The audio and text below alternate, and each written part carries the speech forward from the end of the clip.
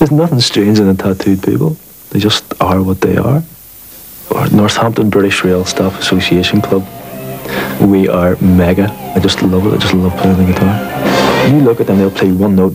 There will be something about it. There'll be a passion and an intensity about that one note that another guitar player will never express in a thousand notes.